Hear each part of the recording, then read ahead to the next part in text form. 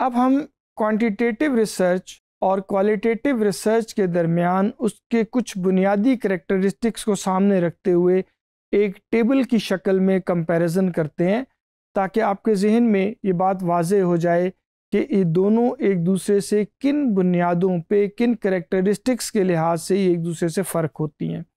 और ये बात आपको हेल्प करेगी जब आप कल को अपने लिए कोई रिसर्च टॉपिक मंतखब कर रहे होंगे तो आपको ये फ़ैसला करने में कि इसमें कौन सी अप्रोच रिसर्च की इस्तेमाल होनी चाहिए या रेलिवेंट है, इसके फ़ैसले में आपको ये मदद देगा। तो आप देखिए वर्टिकल कॉलम्स में क्वांटिटेटिव रिसर्च और क्वालिटेटिव रिसर्च है। जबकि आप पहला कॉलम देखें तो इसमें वो पैरामीटर्स लिखे हुए हैं, जिन पैरामीटर्स पे हम इनको आपस में कंपेयर करेंगे। मसन, सबसे पहला फ़र्क टाइप ऑफ़ डाटा कलेक्टेड में है। क्वांटिटेटिव रिसर्च में डेटा न्यूमेरिकल फॉर्म में इकट्ठा होता है नंबर्स की शक्ल में होता है। क्योंकि इस डेटे को हमने एनालाइज करना होता है मुख्तलिफ़ सॉफ्टवेयर या स्टेटिस्टिकल टेक्निक्स के इस्तेमाल से। और स्टेटिस्टिकल टेक्निक्स को एनालिसिस के लिए नंबर्स की ज़रूरत होती है।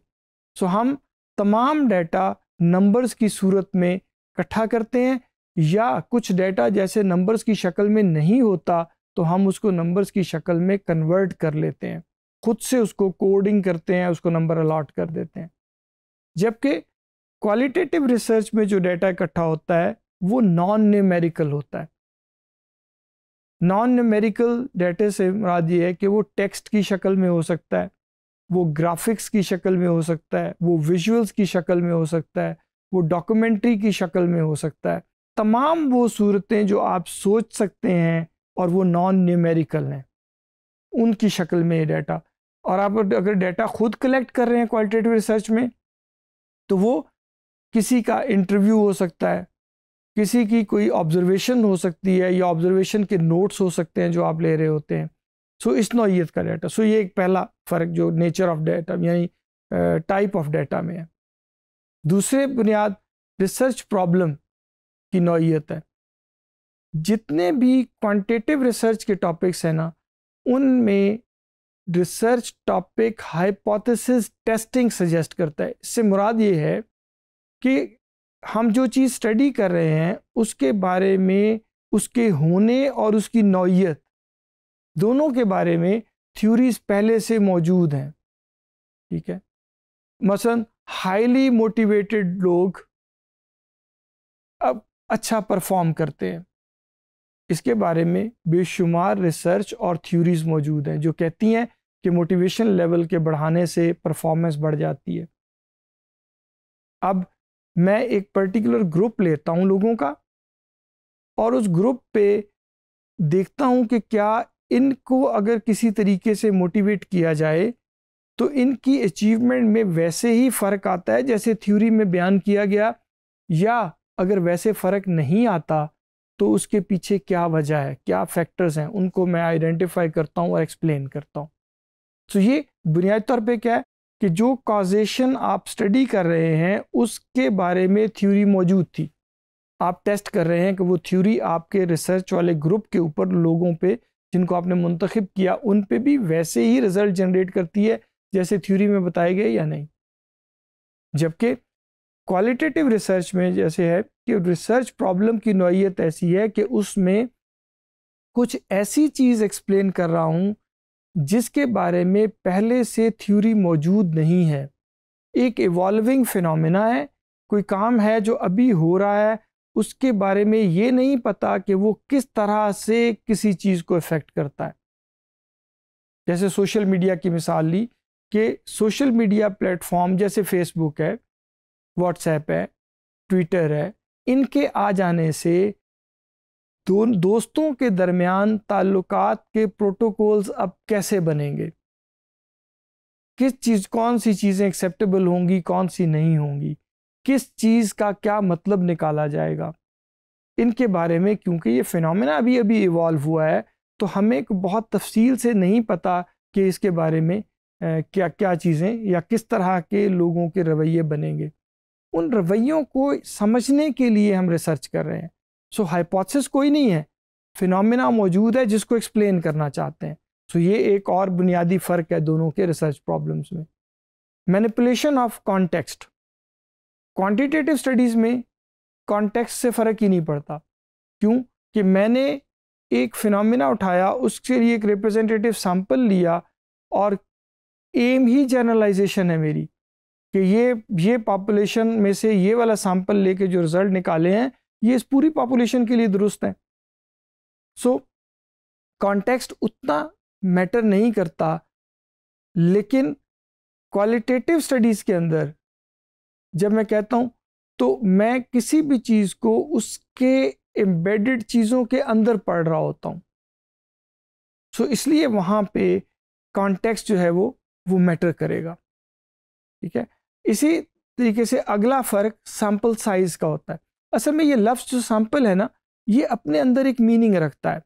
सैंपल जब भी कहा जाए तो इसका मतलब है कोई पॉपुलेशन भी एग्जिस्ट करती है। और इसलिए क्वांटिटेटिव स्टडीज़ में सैंपल का कॉन्सेप्ट दुरुस्त है।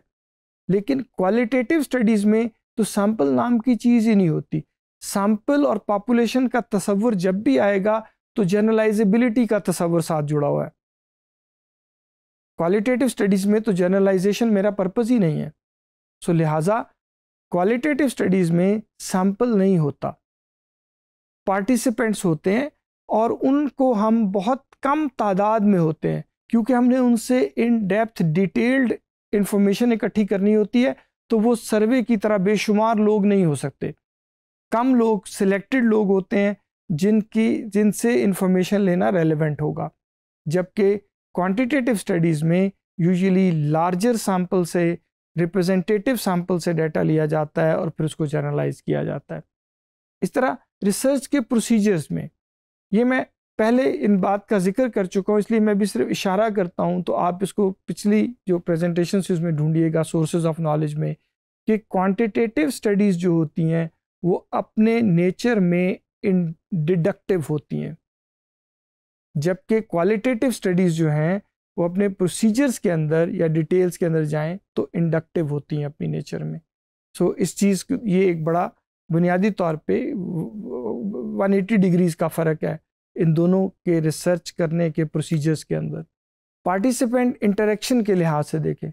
जिन लोगों से मैं डाटा लेता हूँ उनसे मेरा ज़ाती तौर पे इंटरेक्शन क्वांटिटेटिव स्टडीज़ में अक्सर अवकात इसकी ज़रूरत ही नहीं होती। मैं क्वेश्चन बनाता हूँ सर्कुलेट करता हूँ, लोग उस पर अपने रिस्पॉन्स दे देते हैं। उनसे पर्सनल कांटेक्ट की मुझे ज़रूरत नहीं होती। इन्फॉर्मेशन आ जाती है, क्योंकि मेरा टूल स्ट्रक्चर्ड होता है और उसमें मुझे कोई फर्दर वजाहत नहीं चाहिए होती जो उन्होंने, जिसके बारे में उनसे रबता करूँ।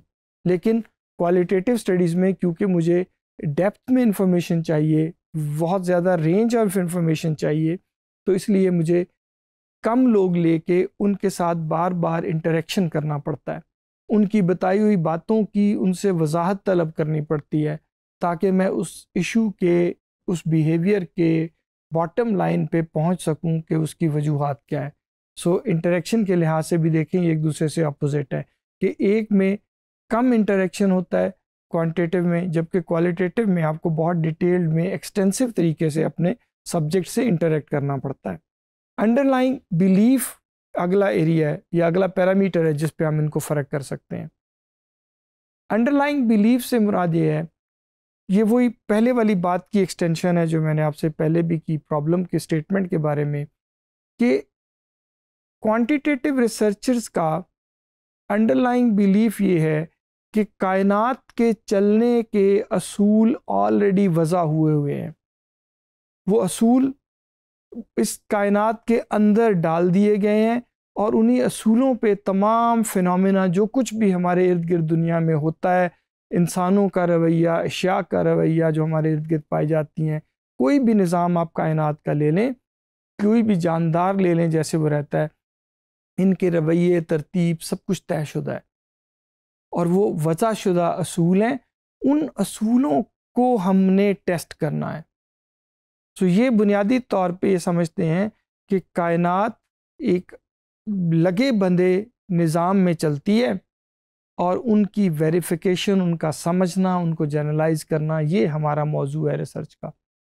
जबकि क्वालिटेटिव रिसर्चर ये कहता है कि चीज़ें वक्त के साथ साथ इवॉल्व होती हैं, नई चीज़ें आती हैं, नए फिनमिनाज आते हैं, नए रवैये पैदा होते हैं। उन रवैयों को समझने के लिए आपको नए तरीके से एक्सप्लोरेशंस करनी पड़ती हैं। वज़ाशुदा असूल मुस्तकिल नहीं होते वो वक्त के साथ बदलते हैं। लिहाजा रिसर्च के टॉपिक्स भी और रिसर्च के मुख्तलिफ़ जो सिमतें हैं वो भी वक्त के साथ साथ तब्दील होती हैं। सो so, इन दोनों के अंडरलाइंग बिलीफ को आप देखिए कि कितना फ़र्क है। पहले वाला कहता है कि असूल तयशुदा हैं लिहाजा वेरीफाई करना मेरा मकसद है। क्वान्टिट क्वालिटेटिव रिसर्च कहता है कि नहीं, असूल होंगे, लेकिन वक्त के साथ साथ इवॉल्व भी होते हैं, बदलते भी हैं, नई चीज़ें भी आती हैं, नए फिनमिनाज भी होते हैं। उनको समझना जो है, वो रिसर्च का पर्पस होगा। सो इन जो आपके सामने मैंने छः सात पैरामीटर्स रखे, इन पैरामीटर्स को आप इस्तेमाल कर सकते हैं as a yard stick quantitative और क्वालिटेटिव अप्रोच के दरमियान फ़र्क को समझने के लिए कि ये रिसर्चेज आपस में एक दूसरे से क्यों डिफरेंट है। तो इसके बाद अब आप जब भी कोई रिसर्च का टॉपिक अपने लिए मंतखब करें तो आप अपने टॉपिक को जहन में रखते हुए देखिए कि वो कौन से करेक्टरिस्टिक्स पे पूरा उतरता है। ठीक है? ऐसा नहीं इम्कान कि वो किसी एक करेक्टरिस्टिक में तो क्वालिटेटिव हो और किसी दूसरे करेक्टरिस्टिक में क्वालिटेटिव हो जाए। या एक में क्वालिटेटिव है तो दूसरे में क्वांटिटेटिव हो जाए। ये पूरी तरतीब एक तरह से एक टॉपिक पे फिट आनी चाहिए। अगर आप अपना टॉपिक पढ़ें और उसका एक हिस्सा आपको लगे कि आप कहें कि नहीं डाटा तो मेरा न्यूमेरिकल नेचर का ही आएगा, लेकिन इसमें सैंपल की बड़े की ज़रूरत नहीं है। डाटा तो मेरे मेरे पास हाइपोथेसिस तो मौजूद हैं, लेकिन इनको टेस्ट करने या एनालाइज करने का तरीका जो है वो मैं क्वालिटेटिव रिसर्च से लूँगा तो ये मुमकिन नहीं है। इधर से इधर जंपिंग नहीं है। अगर आपको ऐसा लग रहा है तो आपको अपने टॉपिक को गौर से पढ़ना और दुरुस्त करना चाहिए।